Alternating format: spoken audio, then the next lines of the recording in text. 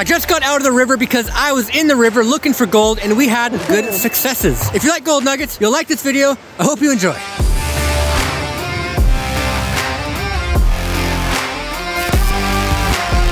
okay, so First video of 2024 and we're going sniping. I got a sponsorship from Wilson's Diving, meaning I get a lot more equipment sniping equipment, so I'm able to get out a lot more, so thank you Wilson's Diving. The weather is looking good today, but it's gonna start snowing really, really soon. So today, I'm out here with Bailey, hey. and we're just gonna have some fun, see what we find, and no expectations. Did you eat your gold flakes this morning? Yeah. so over the past, I don't know, three months, I've been putting on a lot of weight, doing a lot of weightlifting, eating a lot of fat. So I'm really feeling it in this wetsuit. Everything's really, really tight. And I feel like the Michelin man.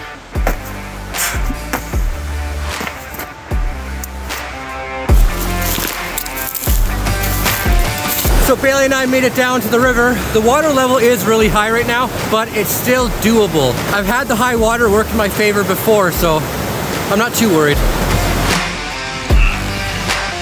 Before we do any sniping, we've got to acclimatize to the temperature of the water, which can take some time. I sort of just laid there and waited for my face to numb up before I started working.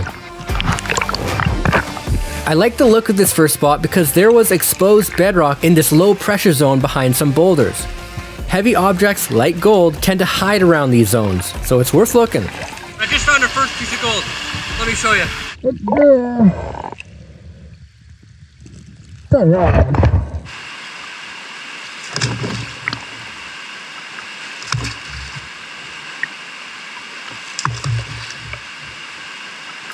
We got our second piece of gold.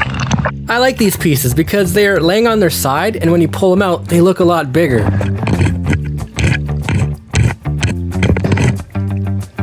Oh! good. got a nice little flake. It won't go up in the snuffer bottle, so I gotta put it into the lid.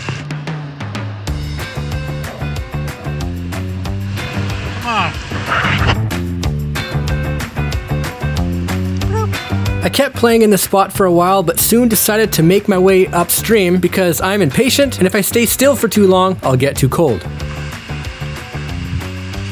This stretch of river is sort of out of the sun, so it's really hard to see in there, and all the bedrock doesn't seem very good. But I do know across the river right there I've had really good luck, but I am not crossing that river right now. While I slowly made my way upstream, Bailey already abandoned his wetsuit and started digging holes. Just found a picker. Look at that. Wow. Do the gold dance. Do the gold dance. Okay. I've extended the hole a little bit further, almost up to my knee. Not too, too terrible, but they're small, but I love it. What I gotta remember to do is bring food and water anytime I hike upstream. I just found, I think, our biggest nugget of the day, so I don't want to leave the spot, but I'm really hungry. I'll stay as long as I can. The gold nugget is somewhere in here. I saw a nice flash. So. Right there.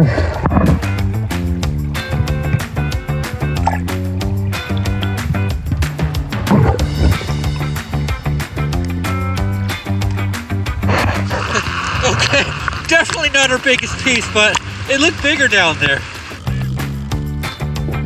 I just found a decent piece of gold right here. Look how shallow that is. It's a little nugget. I can barely get my mask in there.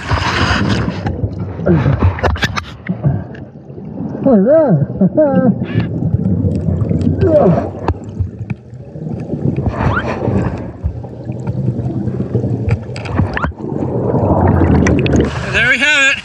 A nice little piece. How you doing? Good. Found some gold. you got out of your wetsuit? Yeah, it was getting cold. Yeah, it's getting pretty cold. I've been working really hard and I'm fat, so I'm a little warmer than usual. Well, I came downstream now. There's a big open pool here. There's a lot of bedrock on the side, so I'll give that a go. So after locating where I wanted to work, with perfect technique, I dove right in.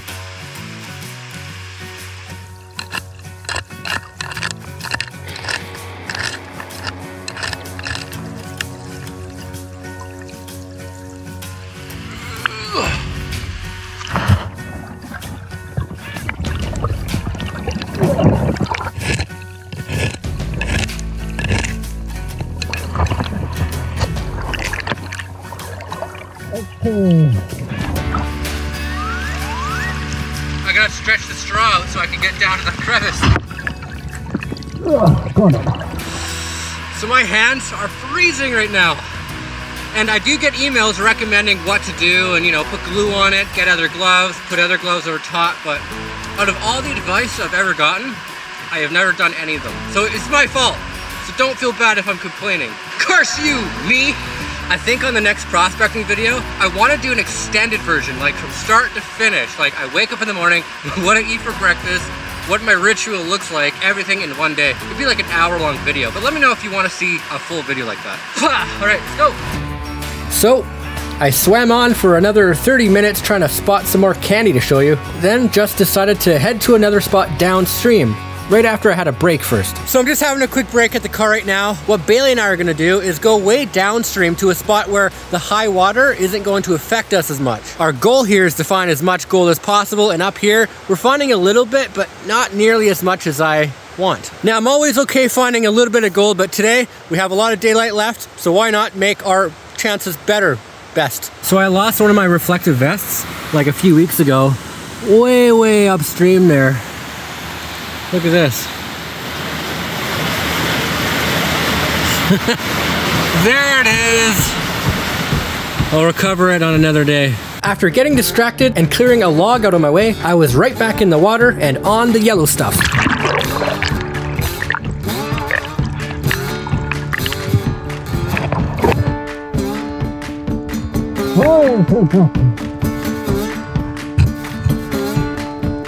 Where's gold? Looking for gold underwater takes a lot of time. Most of the best gold snipers spend days looking for areas to go, and we're not always successful. A lot of the time, we don't find enough gold to justify a video. We just lay here and talk to the dirt.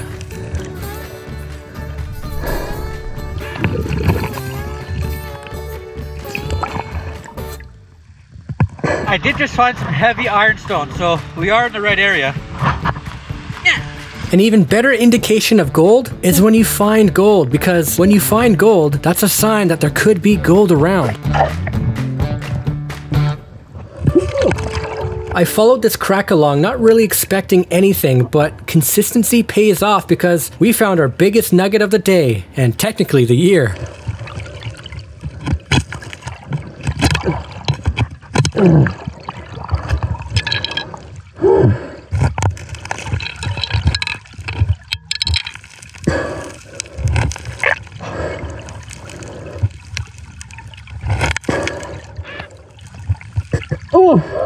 look at there. Good. I just found an awesome piece of lead. we found the biggest nugget of the day so far. There's another down there too. Yeah, lead, baby! Often when you find lead with gold, there's usually more than one piece of gold in there. Exactly like what just happened.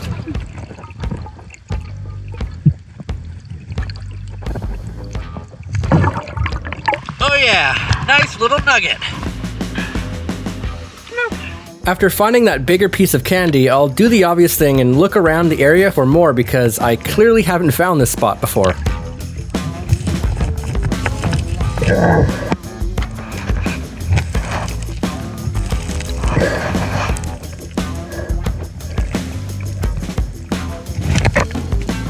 Those are the only nuggets I see in here, but in this area, there's gotta be more gold.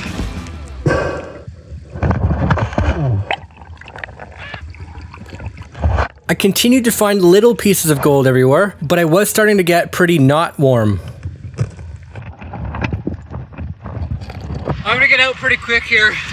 I'm getting really cold. It's important that you get out of the river before you start to shiver because once you shiver, it's gonna be a long time before you can unshiver, and that just leads to hypothermia. I did just find another little piece of gold here.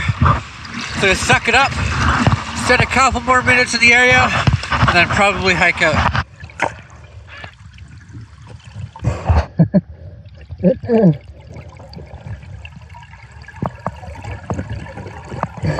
So I continued to find maybe one or two microfly pieces of candy, but ultimately I just spent the rest of my temperature digging out crevices that didn't have any gold in it. So I decided to call it. Okay, I am done. I am way too cold to continue, but I'm happy we found gold today, so. There's Bailey. Hey, any luck? A little bit of luck. Got a couple little pieces of lead. I see you're digging to China. Ugh. I don't know how I continue to do this. oh, I just pulled a muscle in my neck. This is so tiring. It's sure easy to be like, yeah, I'm gonna go sniping. We're gonna find lots of gold. And then you wake up at like 5.30 or 6 in the morning and it's freezing out. And then it snows on the way here. And you're like, what am I doing? Is it worth it? But yes, it is, because it's awesome when you do find gold. Okay, I'm all dressed. I'm a little warmer than I was before. Bailey's getting dressed. He's a little warmer than he was before. And I have gold to show you. Look at the loot. We have a nice thick nugget in there. A couple other flakes slash nugget slash pickers. A roly-poly piece. Some pieces of lead. And all together, we're looking good. I'm thinking this is probably at least 10 ounces, if not maybe a gram or so. This is typical what you would find here sniping on the creek. I don't usually sit in one spot to find gold. I'm usually all over the place. But today I decided to sit, oh no I didn't, didn't no, that's a lie. I, went, I was everywhere today. So Bailey was screaming like a little schoolgirl because he found the biggest pieces of his life. Those aren't bad either. Not too bad. You got chunky pieces. I did notice earlier, he found a piece. It's right here. Where is that? Oh, you can't really see it right here, but I'll show you on the microscope. Yeah. It's weird. It's like a little piece of gold. Yeah. Super interesting. So Bailey was just doing a lot of testing today, looking for spots for for us to high bank. And uh, yeah, high five. It was a success. Yes. So let's go back to the house, weigh all this gold, and see how much we did.